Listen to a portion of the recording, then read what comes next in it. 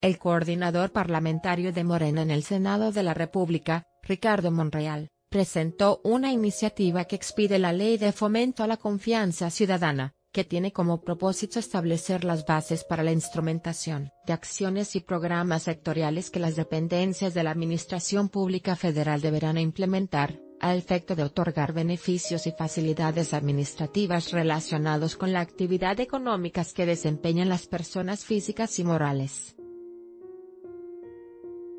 En ese sentido, se busca fomentar la cultura de la legalidad y del comercio formal, promover y realizar, con las entidades federativas, los municipios y las alcaldías de la Ciudad de México, la celebración de convenios de coordinación para la implementación de acciones que tengan por objeto brindar facilidades administrativas a las personas físicas y morales que realicen actividades económicas.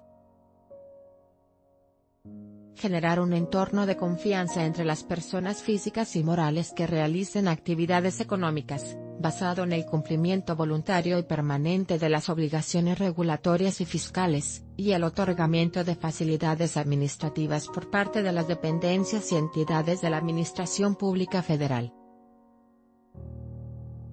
El padrón se conformará con la información de los contribuyentes que voluntariamente se inscriban. La inscripción voluntaria se entenderá como un acto de buena fe, por el cual los contribuyentes manifiestan que se encuentran al corriente en el cumplimiento de las obligaciones regulatorias y fiscales, de acuerdo con la actividad económica que desempeñen. La iniciativa publicada en la Gaceta Parlamentaria, explica que al momento de su inscripción en el padrón, los contribuyentes deberán manifestar, bajo protesta de decir verdad, que se comprometen a continuar con el cumplimiento, de las obligaciones derivadas de la normatividad que lo regula así sus obligaciones fiscales, a efecto de ser objeto de los beneficios que se otorguen en el marco de la presente ley. Será causa de sanción a los contribuyentes, el que proporcionen, para el padrón, información que no sea fidedigna.